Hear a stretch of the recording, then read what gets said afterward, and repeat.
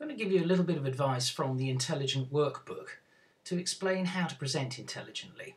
And this one is called The Hammock and the Bed of Nails. Now, most presentations look like this. And the interesting thing is that people remember 70% of what you say at the beginning and 100% of what you say at the end, but fascinatingly, only 20% of what you say in the middle. And this applies regardless uh, of how long the presentation is. So the bit we call in the middle, the dip there, we call the bed of nails. And it's a bed of nails because it's a nasty series of things that are hard to get out of. And you want to get out and through that as fast as you possibly can.